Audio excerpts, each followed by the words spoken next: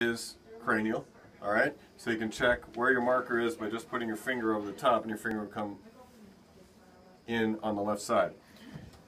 So you find the structure you're going after. We're going to go after this hyperechoic nodule now. Okay, you put it as close as you can to the right corner. You check out the depth. It's just about one and a half centimeters. My focal point is right there, so that means it's going to be an optimized image. I look at my needle, 3 cc vacuum on it with a 6 cc syringe, bevel up towards the probe. I make sure my structure's in the spot that I want. I come in like this, about a quarter centimeter, half centimeter from the probe. I'm lined up with the probe itself, with the center of the probe. Most probes have this little line right down the middle, so I line up with that, bevel towards the probe, come in, stay on top.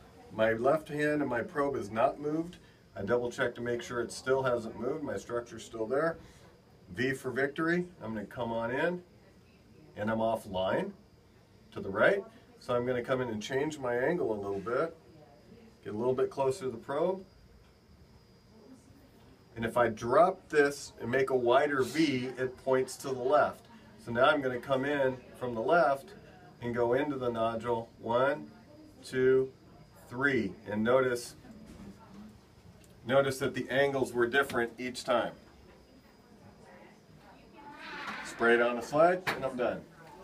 This is gold. Okay, so don't touch the needle head onto this. Or you put $500 in the cookie jar. Okay, so that's the most expensive part. Okay, and that's how you do it.